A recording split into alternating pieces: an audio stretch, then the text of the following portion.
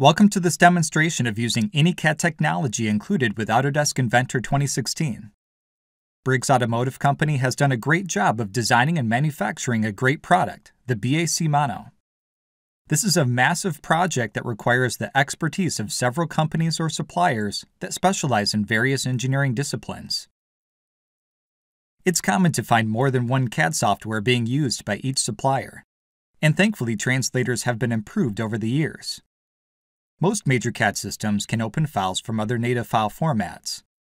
And that's great, but the 3D model data still needs to be translated and is not kept up to date with changes unless the revised file has been opened and replaced manually in the assembly. Inventor 2016 has made a great leap in this workflow. Files from other CAD systems are opened natively without translation, and they are updated automatically in the assembly when the model is changed. Let's take a closer look at the Hewland gearbox in this transmission assembly. We have a few more parts to bring in for the quick shift system. Using the Vault, we can search for the files we need no matter what CAD system it was modeled in. Look for files via part number or other attributes such as the description of the component. We'll begin by bringing in a pneumatic quick shift designed by ShiftTech and modeled in SolidWorks. Using the AnyCAD technology in Inventor, we will simply insert the native model directly into our design. There is no translation necessary, and it will update if the geometry is changed by the supplier. This isn't just for SOLIDWORKS files. AnyCAD is available for other native formats such as ProE, Creo, CATIA, and Siemens NX. On the right, we have another component of the Quick Shift system that is also made by ShiftTech. It's again modeled in SolidWorks, and we have the ability to turn on and off some of the internal components in the assembly with a user-friendly interface in Inventor. Inventor Professional comes with a complete set of tools for tube and pipe runs. Let's go ahead and apply a couple flexible hoses between the two components on the quick shift system.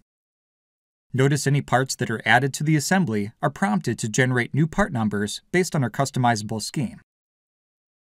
The tube and pipe styles enable us to use an existing template or create our own, which we'll do here. We'll copy this female swivel thread from Parker Hannifin and give it a new name and size. The fittings are automatically oriented and positioned as they are brought to each of the connectors in the QuickShift system. Even specify desired distances for tubing and maintain space requirements and avoid any interfering objects in the design. The 30mm gap not only works on flat faces, it can also be used on cylinders such as a bore or filleted edge. Once the direction of the route has been specified, let Inventor do the rest regarding the creation of the 3D solid for each hose. Next, we'll bring in the Shift selector that is designed by Briggs Automotive Company. We can again utilize the great search capability in Vault to find the files we're looking for. In this case, any files containing a selector description. After placing it in the gearbox, we can see that the diameter of the part is too large for the hole, and the flange on the linkage is not going to reach the component. BAC will then contact Hewland, the maker of the gearbox housing, and request a change. But wait, the gearbox was modeled in Creo. We already did all this work in Inventor around the first revision. How will we know if any other changes have been made? How will we get our new design in our Inventor assembly? Will I need to do any cleanup of the model data? These are common questions that are asked when working with multiple CAD systems. Inventor 2016 eliminates this concern. The models from other CAD systems are now direct links to the file.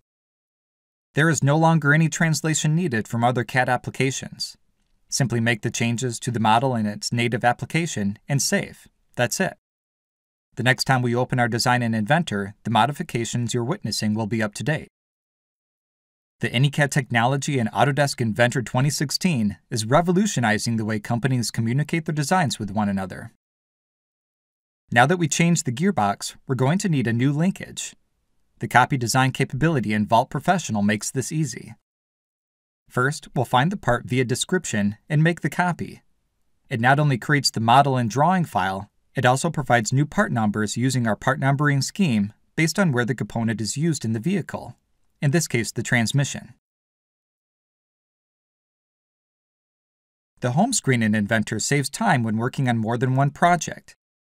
There is great visual feedback on each preview for the status of the model as well as filters such as the files we currently have checked out of the vault. As we zoom in, we can see the changes that have been made in Creo. Let's go ahead and replace the original linkage with a copy from Vault, and make a few changes to fit the updated gearbox casing. Modeling an Inventor is better than ever using the direct editing capabilities. Grab the face and extend it to other components in the assembly, even faces of parts that are referenced from other CAD systems. Sketches can also be dragged to entities on other components such as the actuator for the quick shift system. Autodesk Inventor strives to make better designers and not expert CAD users. This is the way design should be. The geometry should behave the way that you expect it to. For instance, moving the flanges is a matter of selecting the faces and choosing an object in the assembly to attach it to. We'll do the same thing for the flange above. You can see that we made the shaft for the linkage longer so the flange can reach the selector. Again, we can simply move the flange flush with the cutout. Filleting is another time saver in Autodesk Inventor. Make it a rule that all the objects in the design of a selected face are targeted for filleting. We'll get to see this feature in action in just a moment. Let's create a couple ribs to add some strength to the linkage. As we're creating these features, each command is of course going to prompt us for the size of the objects we're making, as well as the thickness of the ribs, or the radius of each fillet.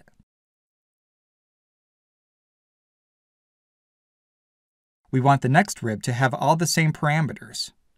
During the creation of the feature, simply select the dimension from another object in the design. Not only does this save time for measuring, they are now linked to each other. If one of them changes, the other feature updates along with it. Also notice the rest of the edges are filleted automatically using the rule fillet we spoke about earlier. You may remember that we copied the drawing for the linkage along with the model file. Let's take a look at the drawing and check this design back into the vault. You can see that all the changes that we made to the length and the orientation of the flanges has propagated nicely to each of the views. And finally, we'll do the same thing to the main assembly for the transmission. Let's check everything we've worked on back into the vault. You have seen in this demonstration that Autodesk Inventor 2016 brings powerful new capabilities to working with native files from other CAD systems. The AnyCAD technology has changed the way companies share model data and has revolutionized the future of making things.